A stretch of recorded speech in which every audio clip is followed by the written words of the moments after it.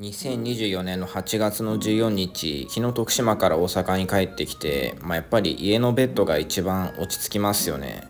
まあ今日特別どこかに出かけるとかはなく本読んだり YouTube の動画見たりとかあと株で結構動き早い銘柄見てたのでそれ見てたら1日終わってたって感じですね。あと今度プロ野球を現地で観戦するっていうのを一回やってみようと思ってチケット見たんですが S 席とか人気のある席はやっぱりちゃんと売れてて改めてそのプロ野球の日本での人気の強さってものを感じさせられましたね。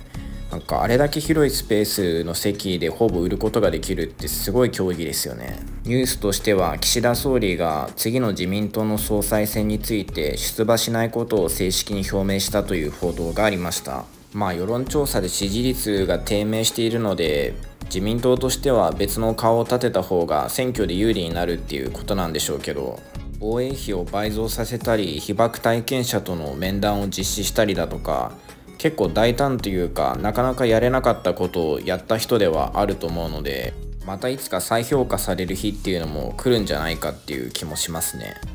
以上です。